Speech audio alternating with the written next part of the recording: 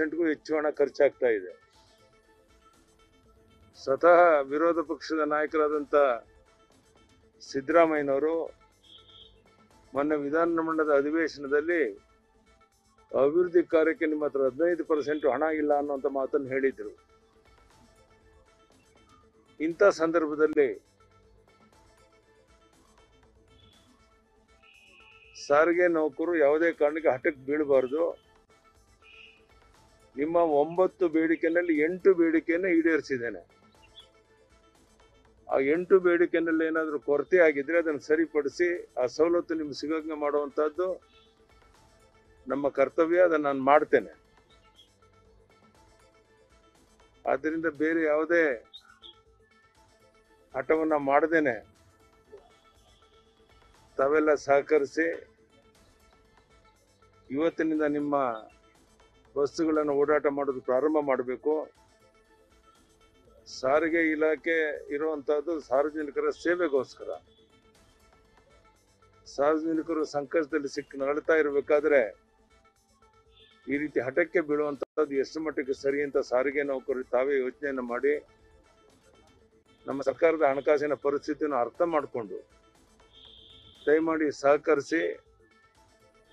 ಬಸ್ಸುಗಳ ಓಡಾಟವನ್ನು ಪ್ರಾರಂಭ ಮಾಡಿ ಸಾರ್ವಜನಿಕ ಆಗ್ತಿರುವಂಥ ತೊಂದರೆ ಕಿರುಕುಳವನ್ನು ತಪ್ಪಿಸಬೇಕು ಅಂತೇಳಿ ಮತ್ತೊಮ್ಮೆ ನಾನು ಅವರಲ್ಲಿ ವಿನಂತಿ ಮಾಡ್ತೇನೆ. ಯಾವ ಕಾರಣಕ್ಕೂ ಸಹ ಆರನೇ ವೇತನ ಆಯೋಗ ಜಾರಿಗೆ ಕೊಡಕ್ಕೆ ಸಾಧ್ಯ ಇಲ್ಲ ಇವತ್ತಿನ ಪರಿಸ್ಥಿತಿನಲ್ಲಿ.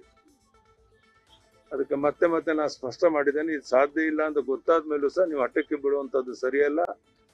ದಯಮಾಡಿ ಸಹಕರಿಸಬೇಕು ಅಂತ ವಿನಂತಿಯನ್ನ ಮಾಡ್ತೇನೆ. ಯಾರ ಹತ್ರ ಮಾತಾಡ್ತೀಯಪ್ಪ?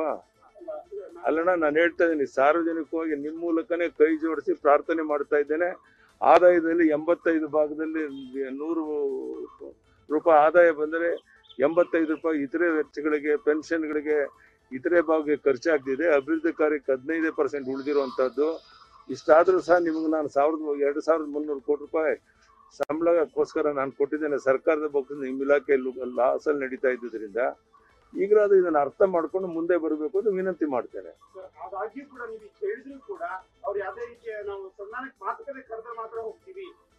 ಮಾತಾಡೋದು ಏನು ಉಳಿದಿಲ್ಲಪ್ಪ ನಾನು ಅದನ್ನೇ ನಿಮ್ಗೆ ಹೇಳ್ತಿರೋದು. ತೊಂಬ ಒಂಬತ್ತು ಬೇಡಿಕೆಯಲ್ಲಿ ಎಂಟು ಬೇಡಿಕೆ ಈಡೇರಿಸಿದ ಮೇಲೆ ಏನ್ ಮಾತುಕತೆ ನಡೆಸ್ತೀರ? ನೀವು ಹೇಳಿ. ಮಾಧ್ಯಮದ ಸ್ನೇಹಿತರು ನೀವು ಅರ್ಥ ಮಾಡ್ಕೋಬೇಕು.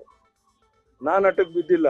ಒಂಬತ್ತು ಬೇಡಿಕೆಯಲ್ಲಿ ಎಂಟು ಬೇಡಿಕೆ ಈಡೇರಿಸಿರೋದ್ರಿಂದ ಇನ್ ಯಾವುದೇ ಕಾರಣಕ್ಕೆ ತಾವು ಇನ್ನು ಹಠ ಮಾಡದೇನೆ ಬಂದು ಬಸ್ಗಳನ್ನು ಓಡಾಟ ಮಾಡಿಸ್ಬೇಕು ಮಾಡೋಕ್ಕೆ ಅವಕಾಶವನ್ನು ಮಾಡಿಕೊಡ್ಬೇಕು. ಸಾರಿಗೆ ನೌಕರರು ಯಾರ್ದೋ ಮಾತಿಗೆ ಬಲಿಯಾಗಿ ಈ ತರ ತೊಂದರೆ ಕೊಡೋಕೆ ಅವಕಾಶವನ್ನು ಕೊಡದೇನೆ ಮುಂದೆ ಬರಬೇಕು ಅಂತ ವಿನಂತಿಯನ್ನು ಮಾಡ್ತೇನೆ